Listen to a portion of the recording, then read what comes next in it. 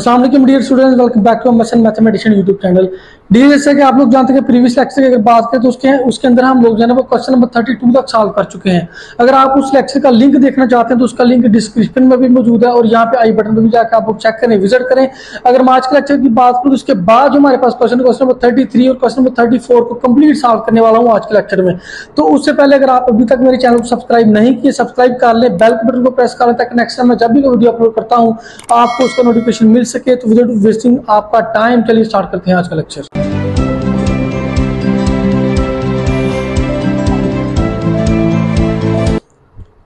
सबसे पहले देखें जी, ये हमारे पास question number thirty three y which is equal to cosecant x तो हमने जाना वो इन क्वेश्चन में दरअसल फाइंड क्या करना है? हमने इसका जो है वो सेकंड डेरिवेटिव तक हमने इस क्वेश्चन को सॉल्व करना है। क्वेश्चन नंबर थर्टी थ्री के बेसिकली आप, आपके पास दो पार्ट्स हैं।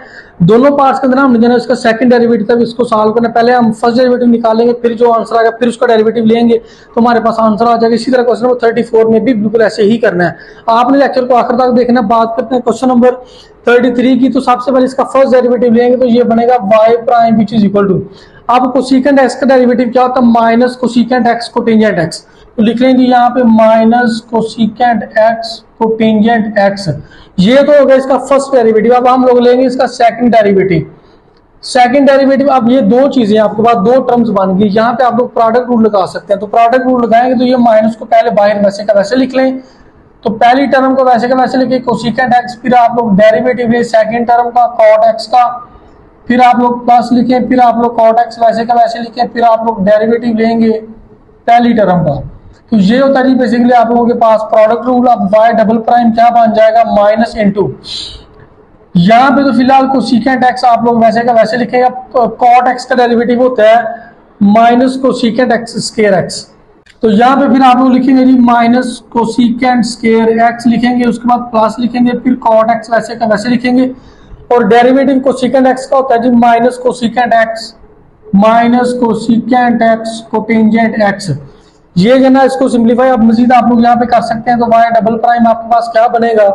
अब ये भी माइनस है, ये भी माइनस माइनस माइनस प्लस है कोसिकेंट तीन दफ़ा तो लिख सकते हैं कोसिकेंट की पावर थ्री एक्स ये माइनस है, ये प्लस है तो प्लस माइनस माइनस हो जाएगा कॉड दो दफ़ा तो लिखें जी cot square x cosecant x अब कोसिकेंट एक्स यहाँ पे भी मौजूद है कोसिकेंट एक्स यहाँ पे भी मौजूद है, कॉमन ले सकते हैं आप लोग। तो y double prime cosecant x को अगर मैं कॉमन लेता हूँ तो यहाँ पे बचेगा को सीकेंट स्केयर एक्स माइनस, ये बात जगह जी आपके पास को टेंजेंट स्केयर एक्स आ जाएगा। आप देखिए वाई डबल प्राइम आपके पास क्या होगा जी? को सीकेंट एक्स इंटू ये है जी आप लोगों के पास को सीकेंट स्केयर एक्स। आप देखें ये माइनस। अब को टेंजेंट स्केयर एक्स जो है ना, वो बेसिकली किसके बराबर होता है? Cosecant square x minus one की। Cosecant square x minus one की।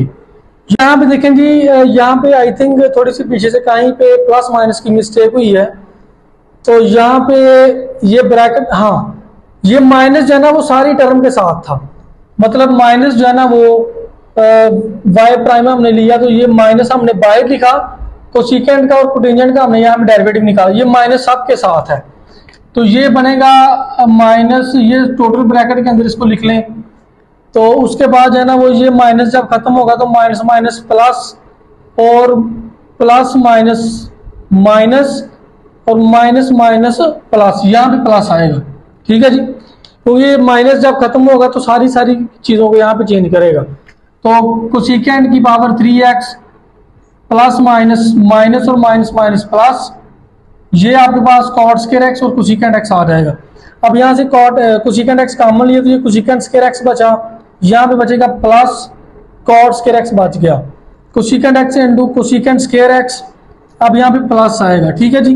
प्लस कॉट स्केर एक्स किसके बराबर होता है? Cosecant square x minus one के। अब ये भी कुशिकेंट स्केर एक्स है, ये भी कुशिकेंट स्केर एक्स है तो ये दो दफ़ा लिख लेंगे।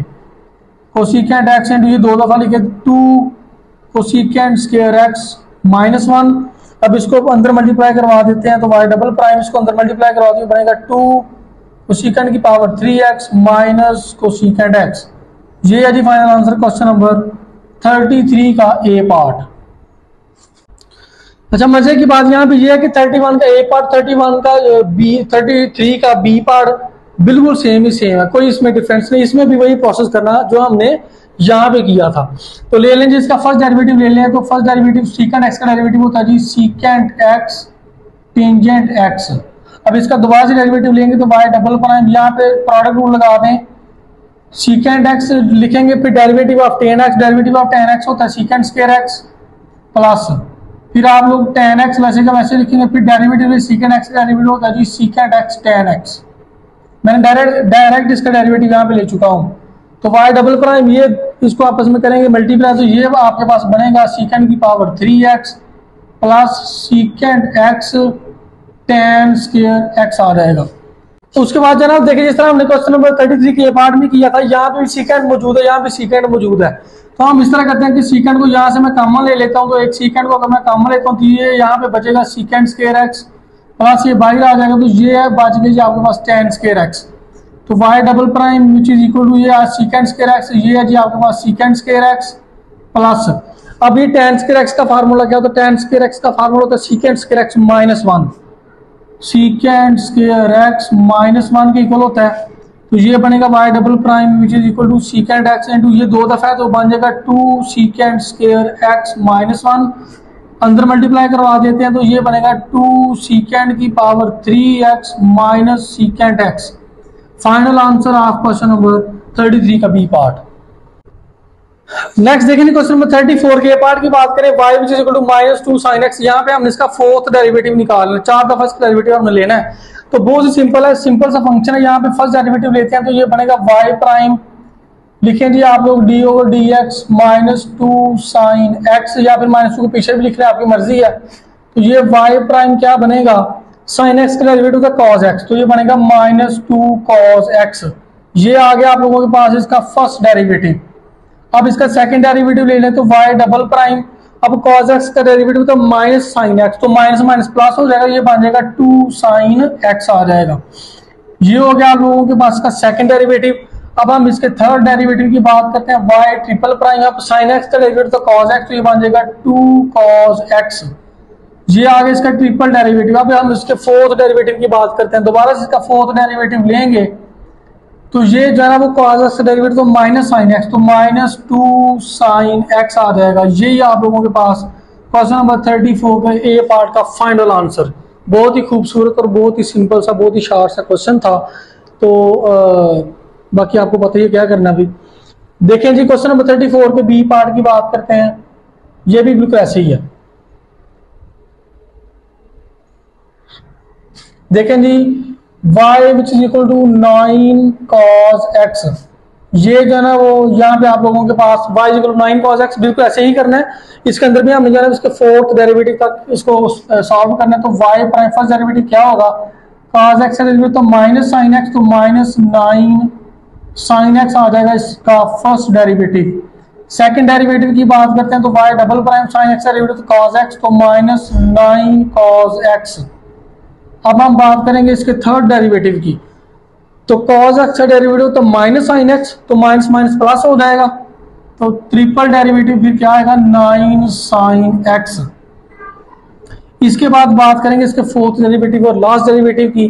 तो वो होता है जी साइन एक्स का डेरिवेटिव तो आप लोगों के पास कॉज एक्स तो ये बनेगा जी नाइन कॉज एक्स यही था आप लोगों के पास आज का complete lecture question number 33 question number 34 तक मैंने कंप्लीट सॉल्व किया। अगर लेक्चर अच्छा लगता है, लाल बटन को प्रेस किए बगैर वापस ना जाया करें। अच्छी चीज़ अच्छी चीज़ को शेयर भी किया करें। सदका है। अपने फ्रेंड्स या फैमिली के साथ अपने क्लास में शेयर कीजिए। कोई क्यूरी होती है, मुझे कमेंट सेक्शन में पूछें। या फिर लेक्चर के हवाले से कोई मसला होता है तो मुझे इंस्टाग्राम पे ज्वाइन करें। इंस्टाग्राम का इंस्टाग्राम का लिंक डिस्क्रिप्शन में मौजूद है। इसके अलावा भी अगर आप हमारा व्हाट्सएप ग्रुप ज्वाइन करना चाहते हैं, उसके लिए भी आपको हमसे कॉन्टैक्ट करना पड़ेगा। अपना ख्याल रखिए, हमारे चैनल का भी ख्याल रखें। मिलते हैं इंशाल्लाह नेक्स्ट वीडियो में, तब तक के लिए अल्लाह हाफिज़।